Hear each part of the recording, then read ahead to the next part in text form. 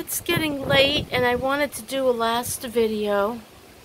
We've got a good steady breeze and sometimes there was such a blast against the door. It made a huge bang.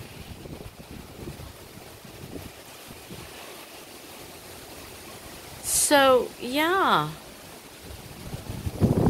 Ooh, it's actually a little chill in that breeze. I've even got my sweater on. Oh, what did I want to say? I wanted to say we're all okay here. Uh, we didn't get much rain, so we got no flooding, thank God. Uh, the wind is, you know, nominal for tropical storm. Nothing in particular, except when we had that one big blast. Oh, that there is, um, Finn wanted a windsock, and so his t-shirt kind of was nominated. Um, I don't know, he didn't get much rain in his bucket.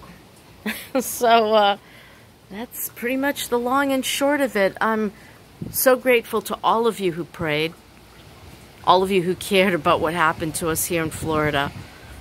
And um, I feel really nervous about whatever happens south of here, you know. Um, we've yet to see. There's a tree blowing way in the back there. Alrighty, thank you all for your prayers. I thank God for his mercies and wow, that's a breeze. And that's my story and I'm sticking to it. Bye.